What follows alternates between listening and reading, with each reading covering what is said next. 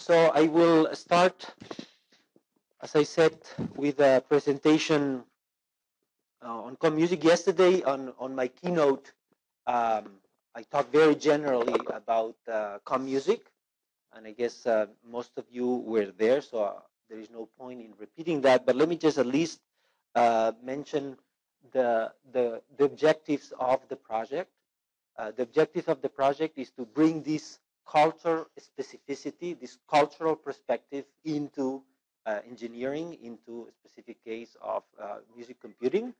So the idea is to focus on the aspects of the, the music, of the audio signal, of, the, of all the information around music, but really from a cultural perspective. And uh, uh, therefore, with that, we want to uh, uh, be able to automatically describe music. One of the major aims of uh, this field is how can we automatically be able to handle large collections of music and generate information around that automatically and don't have to do it manually and have to label everything uh, manually. And uh, one of the problems is that the, this type of information that is available nowadays. We have the type of information that we have in a CD cover or that we on a on a on a concert uh, program. Who is the composer or who is the the performer or what is the raga, and then at the same time we know about the audio signal and we have some information that we can analyze from the audio signal. But those two informations they normally are quite are difficult to to to to unite, are difficult to cross over. Uh, so we, we have the audio, we have the name of the artist, but there is an, a very it's very difficult to try to understand what makes that artist make that sound and what is the relation between the sound of the artist and the name of or the, the for example of the gharana of uh, of that particular artist. And that's one of the major aims of uh, the project and a lot of the research that is being done in our field is to really cover this relationship between semantic and audio information. Uh, and in the case of the project, in order to do that, we are focusing on five musical repertoires. We are focusing on Hindustani and Carnatic music, and that's where we are going to be focusing on this workshop. But we're also working on uh, uh, Turkish uh, music, and we have not started working on it, but we will be working on Andalusian music from the Arab tradition and on Han music uh, of China. And those are the art music traditions of these countries. And also, I showed yesterday some of the issues that we are doing, doing, and now we are doing a lot of data gathering. We need data to understand these issues. We also are interacting with musicologists to, to validate our approaches. And we are starting doing a lot of audio analysis to understand these issues. And anyway, we'll talk briefly about uh, some of these issues.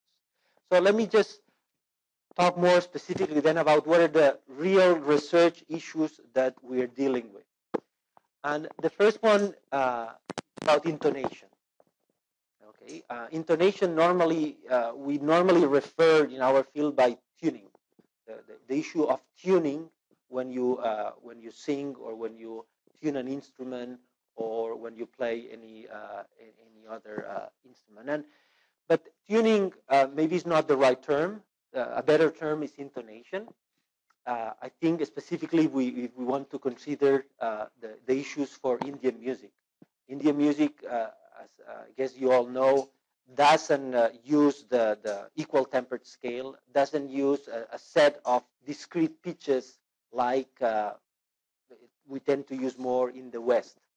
So the concept of tuning and intonation has to be approached differently than in the West.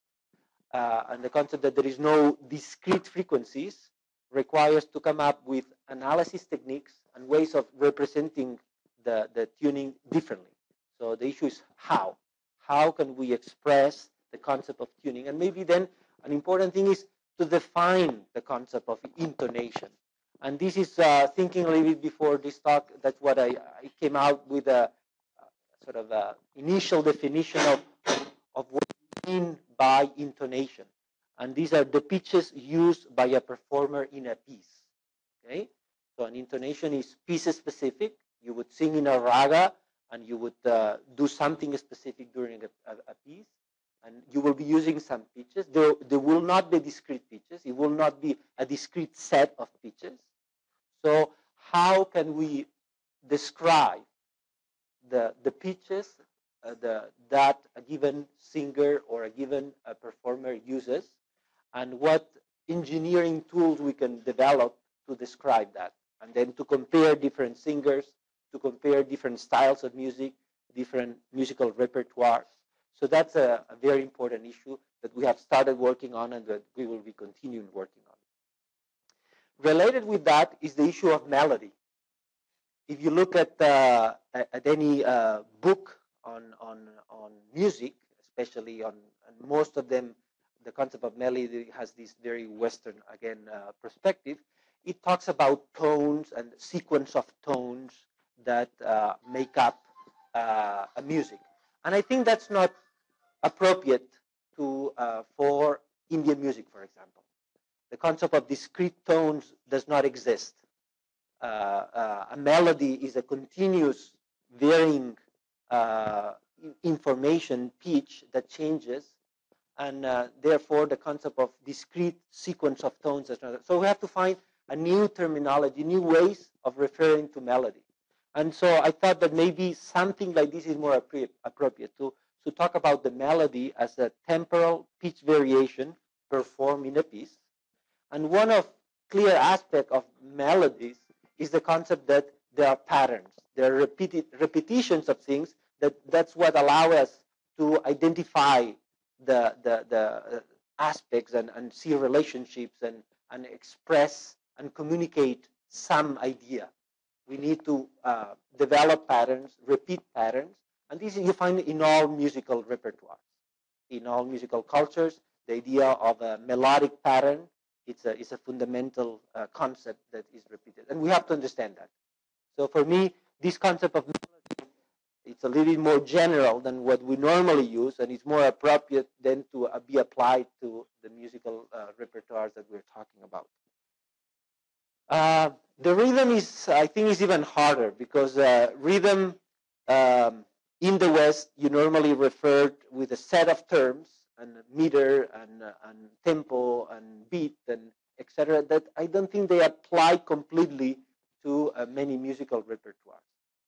Well, first of all, I have to say, just already this issue about dividing concepts is completely, strictly speaking, is artificial. I mean, there is no way we can, uh, a tabla player is an, a perform is a, a, percussion instrument, but at the same is a melodic instrument. So we cannot say that uh, the, the the tabla player is just doing a rhythm. A, a tabla player, in fact, is doing phonetic uh, uh, expression, is doing melodic expression, is doing rhythmic expression. So a, a lot of the things that, in fact, Indian music brings to the world is this idea that many of these concepts are united and things cannot be separated. That's a very important thing. And of course, from an engineering perspective, we need, we are forced to divide things, to, uh, to approach things from an analytical perspective. And that's difficult. And that distorts the reality. Because after all, music is a, is a, is a all uh, communication uh, expression that is, doesn't yield easily to this analytical division. But we have to try. I mean, if we have to bring computers into music, we have to do it. But we always have to be conscious that this is a simplification. Somehow it can be a naive perspective into some of the things.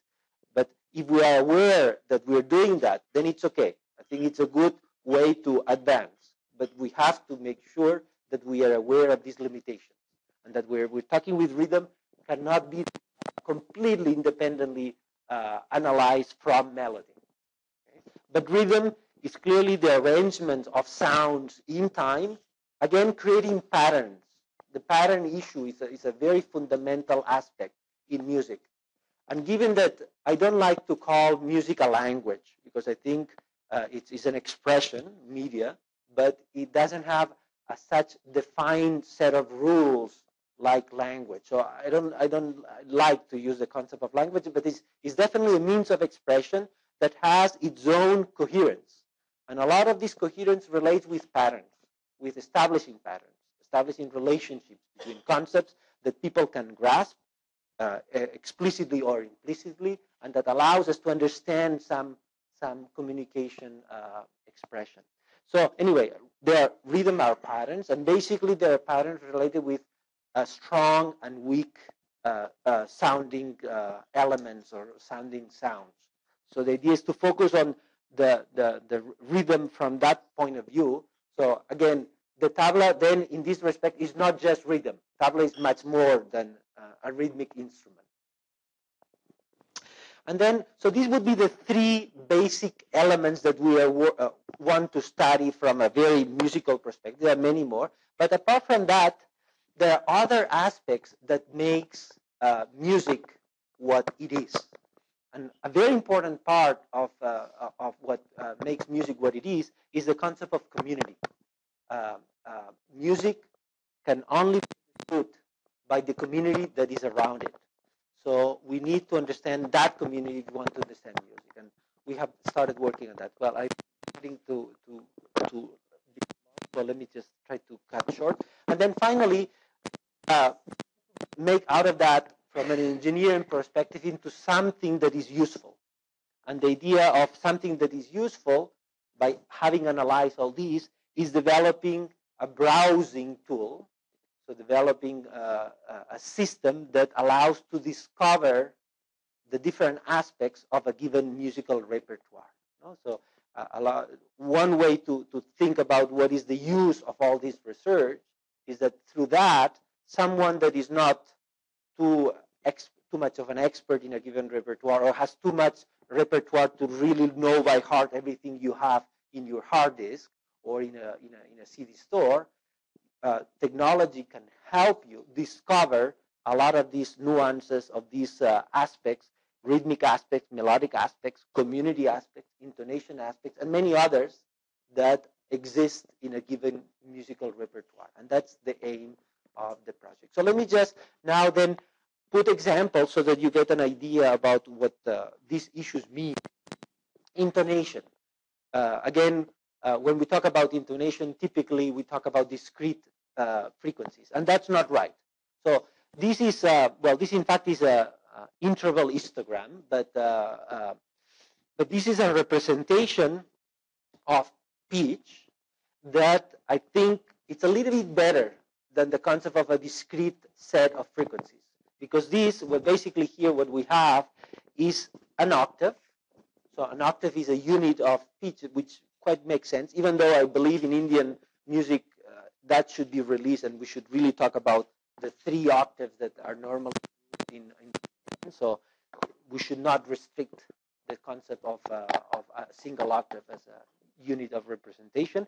And here, what you're seeing is the, the, the relative frequency of different pitches. Well, here is of different intervals, but basically you can think of the different pitches. This is a typical representation of someone playing a Western piano. If you play a piano, all the black and white keys are located in very discrete frequencies that are equally distant one from another. They are not completely equal because uh, uh, the tuning is not perfect. So you get some distribution around every frequency. Another type of tuning that was used, in fact, in, uh, in the West in the Middle Ages, and that is common in some, in some performance practices, is what is called just intonation, which is a tuning that preserves some of the intervals, the natural inter intervals better. It doesn't distort the fifth, it doesn't distort the major third. Uh, and then it requires to have many more tones than just the 12 equal tempered tones. So this is a distribution of a keyboard being tuned to equal uh, to just intonation. If you look at uh, at uh, Carnatic and Hindustani music, this is a paper that uh, the first paper, in fact, that we published about uh, music, uh, and that was presented at ISMIR a few months ago we tried to see, okay, uh, a singer in Hindustani, in Carnatic music, what tuning, what intonation do they use? So we took uh, the alaps, alapanas of uh, both uh, Carnatic and Hindustani music, and we took uh, quite a, quite a number of them, and we did the same analysis. So it's it's a it's an interval histogram. So that means that, it's, it does, it's not affected by the location of the tonic. Uh, and you see um, the, the Carnatic uh, distribution and the Hindustani. And it's clearly different. Uh, we have some why they're different. I think we made some too much simplifications and some errors that we are now trying to understand. And after being here for a month, we understand better. So I, I don't think this is completely correct, but it definitely gives us uh, a view that the way that Carnatic musicians sing and Hindustani musicians sing, and this is something that I don't think that many people are conscious about, is quite different. So that's, I think it, by doing this engineering approach, we can bring some light into some things that maybe people are not so conscious and it's quite relevant for music. Yes.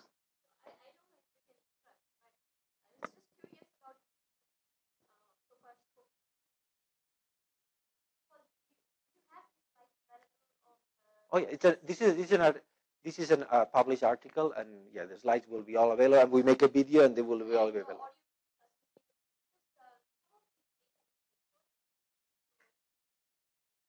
Well, these are these are hundreds of recordings, so it's difficult. This is a statistical data, so it's impossible to to get. Uh, I mean, we are not we are now making it everything available. This was a sort of a preliminary test. We did a whole bunch of recordings, but yeah, we will make everything uh, available and is uh, is explained. Yeah, yeah. But this is it's the the problem is some of these things are impossible to listen to because it's hundreds of them, and, and this only makes sense when you do this very huge statistical uh, analysis. But anyway, let me just try to finish because in Makam music, and, and uh, Baris will, will talk about more, this has been done quite, uh, quite well and with very good results to understand the Makam structures and using pitch histograms for Makam. But anyway, Baris will, will talk about that. About melody, in uh, Turkish music, uh, they have a notation and it's very much a common uh, uh, way now to use this type of notation, which was inspired by Western notation, but adapted to some specific things. But of course, you always need to compare with what the actual musicians are doing. So this is the pitch contour of someone playing this, and it's clearly uh, a little bit different. And so what, it, what we are interested is trying to understand melody, both from kind of the score, but also from the practice of what musicians are doing. Uh, in the case of uh, uh Carnatic music, and Hema Murthy will talk about that, uh, the, a very important aspect of melody, how we understand it, is all the gamakas and trying to understand these uh, variations that the musicians do with the gamakas. So anyway, so uh, Hema Murthy will talk more about that. Rhythm, we haven't started working much about it, but there is a lot of work and uh, in the Turkish team, they have been working on, on rhythm analysis of Turkish music, of trying to, from the audio signal, kind of find the structure in the Indian music case would be uh, and define the, the tala cycle and the different intra relationships of a, a tala cycle. So that's very important. In terms of the communities that I mentioned, what we have been working is not so much on, on the specific communities for Indian music. We have a community that uh, we have, we're an online community, which is called Freesound, which has like 2 million people that share sound. And through that, we have tried to learn the concept of what does it mean a community of users that shared a given sonic repertoire. And from that, there is a lot of very interesting things that we don't have now time to talk about. But the, the concept of tags and representations that express the ideas that a given community has. And what we have been working is in on tag propagation and on, on the ideas of how, by learning the a given community and learning what vocabulary, what tags a given community uses, how we can describe that and use that to then propagate that knowledge into other sounds. And finally, the, the concept of browsing. We have been developing uh, a browser, and now briefly we'll have a, a short demo of it, that um, with a web interface, you have access to all this data and analysis data that we have started to work on and that we will be work on. So now I will just want to show you uh, um, the, a mock-up of uh, um, and then we'll have the, the real thing. So we have not started working, we don't have yet, uh, of course, a, a, working system because we have only been working a few months. But uh, whenever I talk about, no, it's okay. So, but it's very difficult to communicate what we want to do to people that are not so much in the field. So I felt that it was good to come up with uh, some visual uh, mock-up that can show us some of these ideas. So you can imagine once we have all this technology in place, what someone will be able to do with this. Okay, um, it's it's difficult to to uh, really put it together, and of course we don't know what technological results we will get, so it's, it's difficult to to see what we're gonna have. But let's say uh, this is uh, uh, the browser, and uh, we as a, we will show the real one already working with a very minimal functionality. So we have the five collections of uh, our music that we work on, and um, every collection has a specific. You can we call them filters, specific concepts with which you can navigate through the collection. If you ever have used iTunes or you have navigated with uh, search in Amazon, uh, the, the fields that you have in any of these systems is artist, album name, and that's about it. Okay. Clearly, that's not a very meaningful and useful way to navigate if we want to discover new things and we want to learn through that. So imagine if we could, and we will, have that uh, all these kind of things, of course, about the obvious things with the lead performer, the lead instrument, the companies, but things about the the raga that is being uh, played, the the lay that is uh, uh, that is in the in the piece or the section, or a solo section within, or navigate through the Gharana or through the tala. So this you click and it shows all the talas that we have in the collection. And then once you click at something, for example, if you want to say, I just want to look at evening ragas. So you click at raga time, and then automatically you say, okay, uh, I'm going to navigate through the evening ragas of the collection. And then you say, okay, and within evening ragas, I just want to look at whatever piece uh, pieces we have on uh, this particular raga. And not only that, I want to see songs that have a tabla solo. So uh, you click, and now since we don't have that much of a big collection, there is only one concert by Ravi Shankar that fulfills that uh, that requirement. So it appears this one, uh, and then uh, it uh, you can see the details of that, and it tells you all the details of that particular recording. So this is information that we gather automatically from MusicBrainz and from some other sources, from Wikipedia too, and from the, the analysis that we do. So you have all this information. That's quite very useful, much more than what you have currently in, in iTunes. And you have um, highlighted concepts uh, that are linked to other repositories. So, for example, you want to click, okay, I want to see uh, Zakir Hussain uh, bio. So you click, and it automatically gets the information from Wikipedia and it displays the information from Wikipedia. And then you want to uh, look even more care, more inside and okay, I want to look at this tabla solo and try to understand it a little bit better. So it displays the the tabla solo, it displays the spectrogram, it displays you are not seeing here, it displays the bols that have been identified automatically from that. And you, of course, you can play it.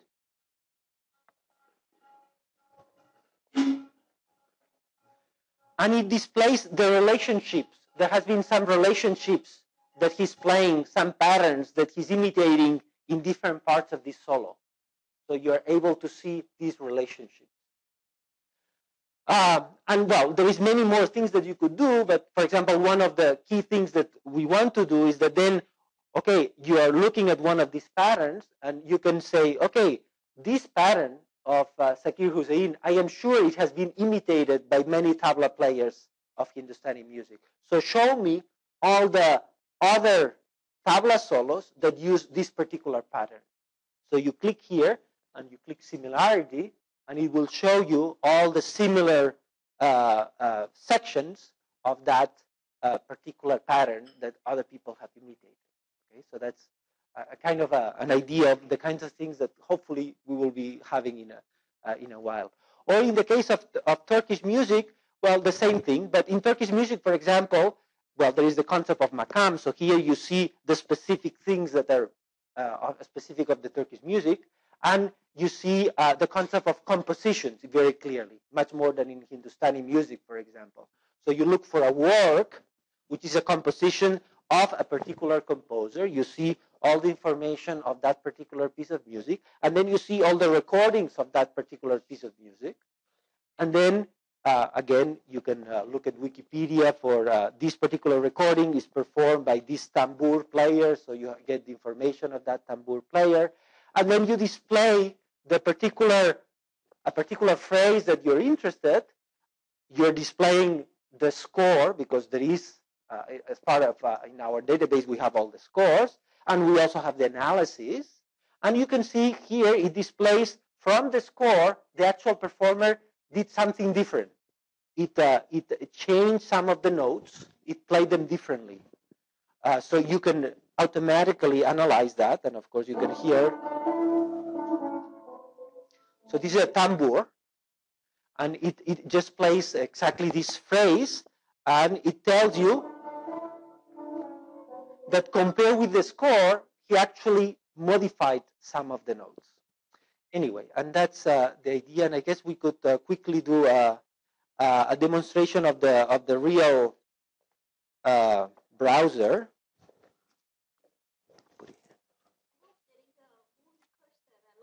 Yeah, there is one display that is what we call uh, enhanced listening or uh, e-listening. The idea is that you can play it, and while it's playing, in fact, is dynamically uh, showing all these relationships. Because when you play, there is a lot more information that you can show. Of course, of course, of course.